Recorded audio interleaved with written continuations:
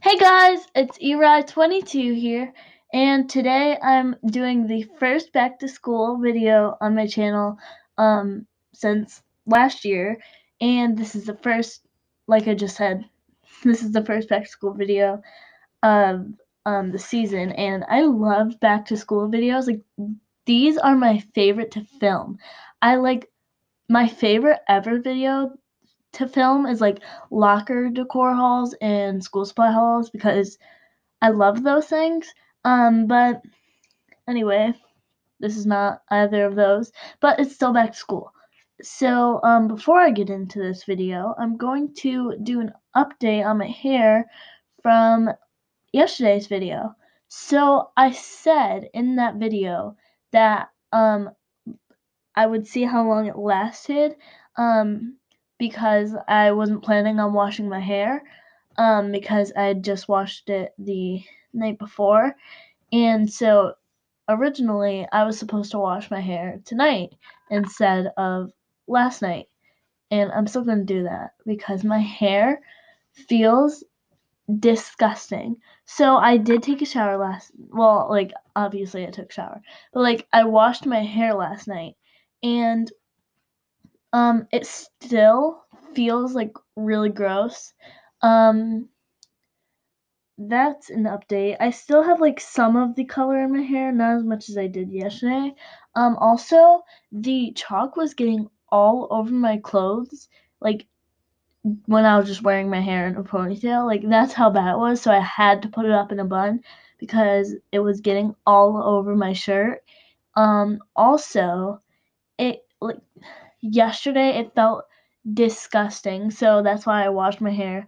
And um like I got out of the shower and I was brushing through my hair. I conditioned my hair twice and I was brushing through my hair and um there were still some orange streaks in there. Um yeah. So that's like just an update on how that went. Um I saw like the pink streak somewhere. I can't really see it right now but like it's somewhere. And yeah, so my hair is still like really gross and like tangled. Um, I brushed it multiple times. But like I said, just an update. So, um, I'm gonna make this a back to school and let's chat video because I think I've done I think I think I've done two Let's Chat videos on my channel where basically I have a topic and I just use the whole video to sit down and talk to you guys about that topic. So today's topic is high school and how I feel going into high school. So last year I was an eighth grader and this year I'm going into ninth grade. Um, but the way my school does it is um, you are still in the same school you're just in like high school and you take finals and midterms. And so I've been in this school um, for two years already, seventh and eighth grade. Um, and then this year I'm gonna be ninth, tenth, eleventh, twelfth. Well, not this year, but like in this school still. So I already know like a little bit of how this works. I know like about the lockers and everything. Um, because in my elementary school, we didn't really have lockers in like the hallway, like and that makes sense. But um in this school we do and I'm like that's just really easy for me to adjust to high school now. Um there's not really that many differences other than like the bell times and the um like the tests and the grades and all that stuff and credits and so um my school is pretty good about um, middle schoolers transitioning into high school because one day we met our guidance counselors they went through everything they told us credits. We've already um, like laid out our schedule that we would like to have and um, so we had like a meeting with our guidance counselor. So um, yeah like my school is pretty good about that. Um, so yeah, so I have my notebook here. I've written down like topics of what I want to talk about in this video. Um, that's just a little sneak peek. And then this also, this notebook was like in my like back to school supplies haul from last year that should be like up in the corner either here or here i don't know where but it should be up in the corner somewhere and um i didn't really use it i used i it was supposed to be for english and i've used one two three four five six i've used six of the pages from this composition book so i kind of just took it and am using it for like YouTube stuff now. I don't know. I just thought it would be a good idea so I didn't have to waste a notebook. Um, but anyway, so the first topic I think I want to talk about is the classes I chose and why. So the um so we picked if we wanted to do honors or um other. I forgot like what it's called. I think it's just like college prep or something. So, um, you if you wanted to do an honors class, you would have to get the teacher to sign a um, form. Like this was the choice sheet that we had to like write down all the preferred classes on. And so you had to get your teacher to sign that. Um, you had to actually get it signed either way by every teacher um, because they had to like approve that that was like the best option for you to do. So, um, yeah, and then we had to choose electives, um, which are just like classes that like aren't core, um, if you didn't know. But um, so we chose electives. We had to do three choices. Um, some of them were half a semester, or not half a semester, a semester, or half the year, and so we had to put two for each choice. Um, so I'm just going to talk about the classes I chose and wrote down on my sheet. So first, we have to take a language at my school, and so I chose Latin one. I I don't know the name. I think it's Latin one. Um, yeah. So oh no, it's Intro to Latin. So, um, I think. I I don't know. So for my foreign language, I did Latin. Um, that's what I've done for seventh and eighth grade, and I'm gonna stick with that one because I know like the basics of it. Um, for um a math class, I chose to take honors geometry. Um, so last year in eighth grade, I took algebra, and the year before that, I took accelerated um math, which did seventh and eighth grade, and then eighth grade I did algebra, which isn't really a grade level, it's just like a thing. And then this year I'm doing honors geometry. Chose to do honors because I've said this in like my Q&A video. Um, I really like math, so I chose honors. And yeah, I don't know. I just chose honors geometry. And then for a science class, we the we had the choice of physics and honors physics. I chose honors physics. Um, and then we had to choose um, an English class. We had honors English and English, so I chose honors English. Um, then we already had a required social class, which is, I think, I think it's world history. I think it's world history. Um, and then for wait, okay, so I did foreign language, math, science, English, social studies. Um, I think yeah, I've already talked about science. Okay, so next is electives. So my first choice for electives was um, digital photography one semester and advanced digital photography for the second semester. So I did it like that because um, so some people chose to I'm not saying this is wrong, but it's just how some people did it. So some people did like digital photography and then like video editing. So, but my first choice was digital photography because I like photography, I like videos. Um, so my digital photography course was my first choice for one semester because that's only a semester class. And then um, for the second semester, I had to choose another one to go along with my first choice. I chose advanced di- digital photography so that I wouldn't forget anything from digital photography and I could still just keep like the topic in for the whole year if I get that choice. My second choice was um, video editing and advanced video editing. So um, I did the same thing there. And um, so I did the same thing there, and sorry about that. That's like not important.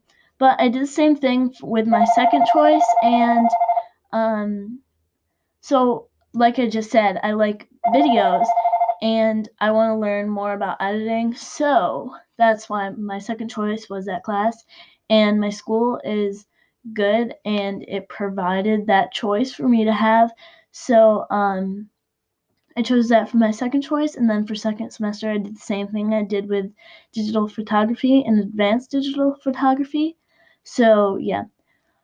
And then my third choice, I don't even remember what it was. It was so hard for me to pick a third choice because my first two choices were all I really wanted.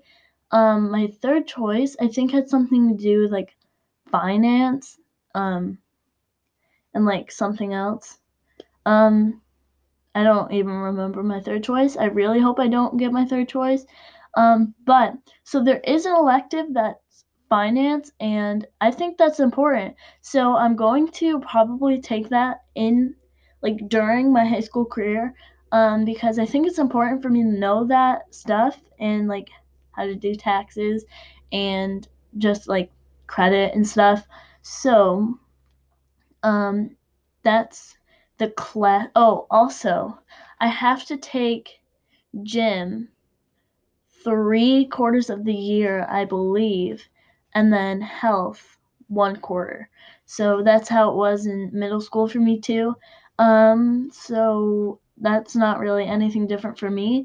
Um, so I've already talked about classes and why I chose them.